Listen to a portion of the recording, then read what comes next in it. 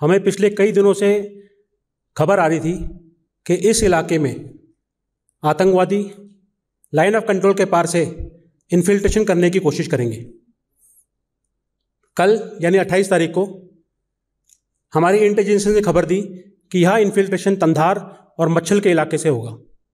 इसी खबर की पुष्टि जम्मू एंड कश्मीर पुलिस द्वारा की गई। यह खबर की पुष्टि होने के बाद Indian Army Jammu and Kashmir police और बीएसएफ ने मिलकर के जो दुश्मन के, टेररिस्ट के आने वाले इन इलाकों में रास्ते हैं, उन रास्तों पे एम्बुश लगाया। रात को तकरीबन आठ बजे मच्छल के इलाके में इन्फिल्ट्रेशन की कोशिश करते हुए टेररिस्ट और हमारी एम्बुश पार्टी के बीच में मुठभेड़ शुरू हो गई। यह मुठभेड़ चली रही थी कि रात को नौ बजे तंधार के इलाके में भी मुठभेड़ शुरू हो गई।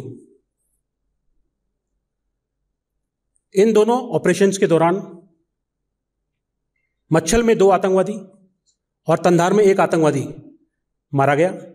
इसके अलावा यह भी खबर है कि तंधार में एक आतंकवादी इस ऑपरेशन में बुरी तरह घायल हुआ है। इन ऑपरेशंस जो कि दुर्गम इलाके में हुए हैं और ख़राब मौसम में हुए हैं इसमें, इस सफलता के लिए मैं सभी सिक्योरिटी फोर्सेस को बधाई देता हूँ। और मैं भरोसा दिलाता हूँ कि सभी सिक्योरिटी फोर्सेस जे में शांति को बहाल रखने के लिए तत्पर हैं।